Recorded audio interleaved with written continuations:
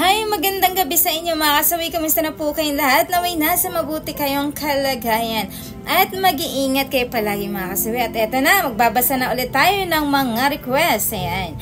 Idol, anong ibig sabihin kapag ang jeep mo ay hinalikan mo tapos darating na sa punto na may mangyari sa amin dalawa? Pero nung malapit na sana na may mangyari, biglang umayaw ang jeep ko. Anong ibig sabihin nun, idol? Bakit siya umayaw at tumalikod sa akin? Tapos, nang tinanong ko siya, di naman siya sumasagot at para ba siyang nanginginig idol, kaya ako naman ay tinigil ko na at hindi ko na siya pininit para na may mangyari sa aming dalawa. Sana pa-topic at pa-advise kung ano ibig sabihin nun, bakit siya Mayaw. Ayan, mga kasabi. Yung ating sender na naman ay isang lalaki. Ayan, puro lalaki yung ating mga sender. Ang sabi niya ay, syempre yun na nga, mga kasabi, hinalikan yung jeep niya. Tapos ito ay muntik na na may mangyari sa kanya. Pero hindi natuloy dahil ang jeep niya ay umayaw at tumalikod sa kanya. At talagang ito ay parang nanginginig. So, sa sobrang takot rin niya, ay hindi niya na ipinagpatuloy at pinilit pa ang kanyang girlfriend para merong mangyari sa kanya. So, may gumugulo sa kanyang kautakan kung bakit nga ba ayan.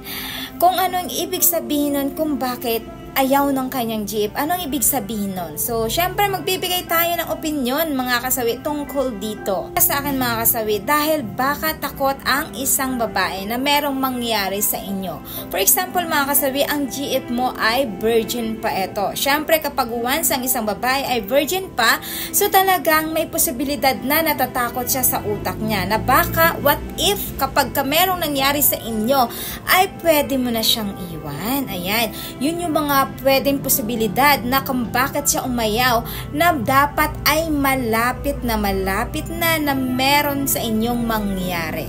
So bigla siyang tumalikod sa iyo dahil nag-iisip siya na kung ibibigay niya ba, o ayan, or hindi na ang pagka-virginity niya sa iyo. Kasi kapag once sa ibigay niya na ito, so baka ikaw ay iiwan mo na siya or lulukuhin mo na siya. So yung mga posibilidad na iniisip niya kung bakit siya hindi na nakikita pakikipag pumayag na merong mangyari sa inyo mga kasawi. So hindi naman ibig sabihin nun na baka hindi ka nun mahal. Siyempre ang isang babae hindi naman ito pumapayag na makipaghalikan sa iyo kung talagang wala siyang gusto sa iyo mga kasawi.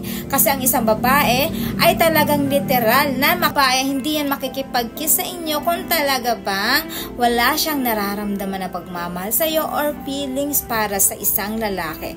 So yun yung mga posibilidad lang mga kasawi na baka natatakot siya, nanginginig siya, nang dahil iniisip din niya kung talaga bang isusuko niya na ang bandera sa'yo or kung talagang baka what if kapag sinuko niya ito ay tatalikuran mo na rin siya. Kumbaga talagang pumasok sa utak niya na wag muna hindi pa siya handa na ibigay at isuko ang bataan sa iyo ng isang babae kaya siya ay huminto at nanginginig pa mga kasawi. Kapag ganito ang nangyari sa mga kalalakihan at kababaihan, lagi yung tatandaan, i-respect ninyo ang mga kababaihan kung talagang ayaw nila. So, wag niyong pipilitin. Kasi the more na pinipilit ninyo, ay baka lumayo sa inyo ang loob ng isang babae. Baka mas lalong maiisip namin na, ay, baka talaga virginity lang ang kagustuhan nito para sa akin. So, hindi ako nito mahal. Kaya niya ako pinipilit. So, kapag ganito ang sinabi or ginawa ng isang babae, Lagi niyong tatandaan mga kasawi, respect ninyo.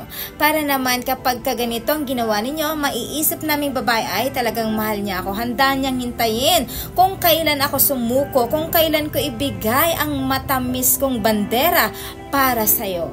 Kaya dagdag puntos yun sa inyong mga kalalakihan kapag ka ito yung ginawa nyo sa inyong mga jowa para naman realize niya na talagang mahal na mahal niya sila. So yun lang po mga kasawi yung aking advice sa ating sender. Maraming salamat po sa patuloy na pagsuporta niyo sa akin sa walang sawang pag-share at pag-comment. Sa mga hindi pa po nakapag-subscribe, pwede na kayo mag-subscribe, pwede na na kayo mag-follow para updated kayo sa topic ko araw-araw.